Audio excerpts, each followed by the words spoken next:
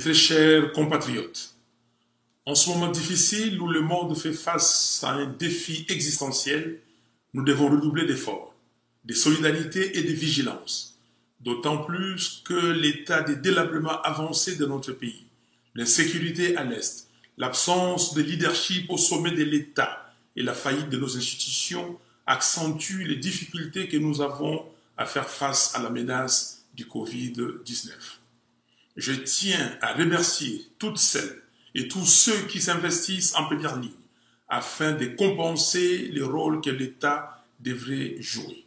Je pense ainsi au personnel de santé mobilisé dans la riposte qui souffre d'un manque cruel de moyens pour accomplir leur mission, aux mouvements citoyens qui prennent à bras le corps leur rôle de proximité, aux associations locales et internationales sans lesquelles beaucoup de nos compatriotes serait dans une plus grande précarité, à la communauté internationale pour sa solidarité, enfin aux femmes et aux hommes de foi pour leurs prières et leurs intercessions. Je présente mes condoléances les plus attristées aux familles endeuillées par cette pandémie. Il est impérieux que l'équipe de riposte soit renforcée pour améliorer la prise en charge des malades. Mes très chers compatriotes, les Covid-19 tuent.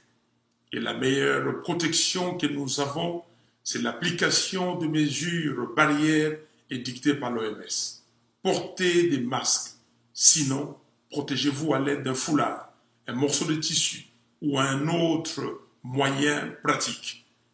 Dans cet élan, j'en appelle au génie créateur des Congolais pour la fabrication locale des masques, la production de gel hydroalcoolique et autres outils de protection. Je remercie ceux qui ont répondu favorablement à la campagne de solidarité nationale que j'ai lancée à travers Caritas Congo. J'en appelle particulièrement à nos sœurs et frères de la diaspora de répondre massivement à cet appel. Le pays a besoin de vous. J'ai saisi par ailleurs cette occasion pour communiquer les numéros RTL Mani de Caritas Congo 0102.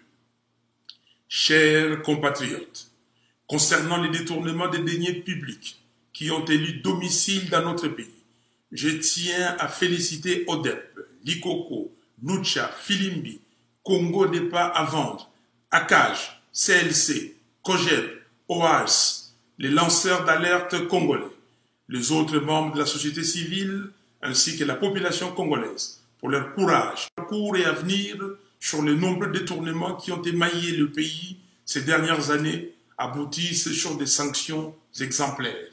À cet effet, un audit digne de ce nom doit être effectué à la CENI pour que M. Nanga et M. Basengezi, entre autres, s'expliquent sur l'utilisation de près d'un milliard de dollars dépensés pour les élections de 2018 à tous mes compatriotes qui nourrissent un fanatisme aveugle des femmes et hommes politiques, ressaisissez-vous.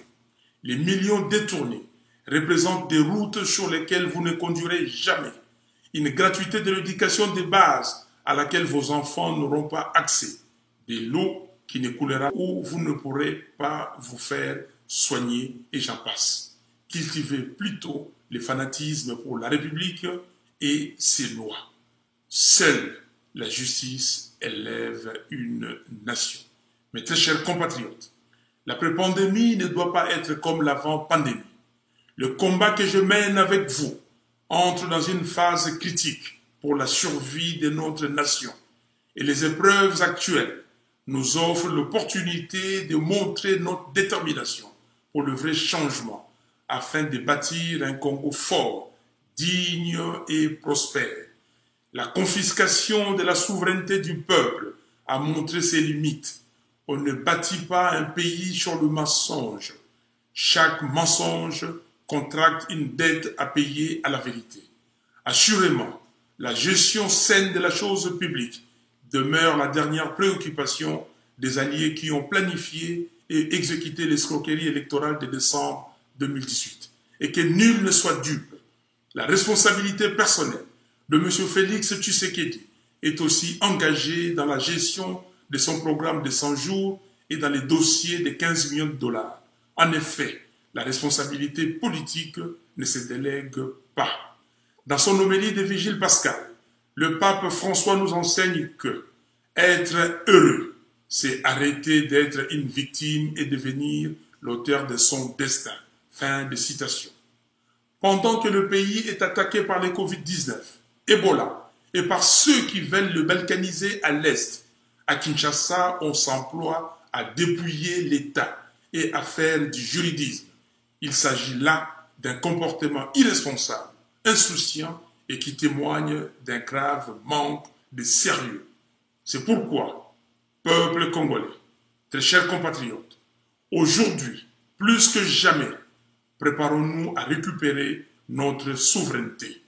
Que Dieu vous bénisse, que Dieu bénisse la RDC. Je vous remercie.